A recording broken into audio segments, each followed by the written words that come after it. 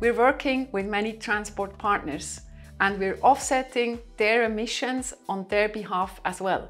95% of the Asendia total carbon footprint is caused by our transport suppliers.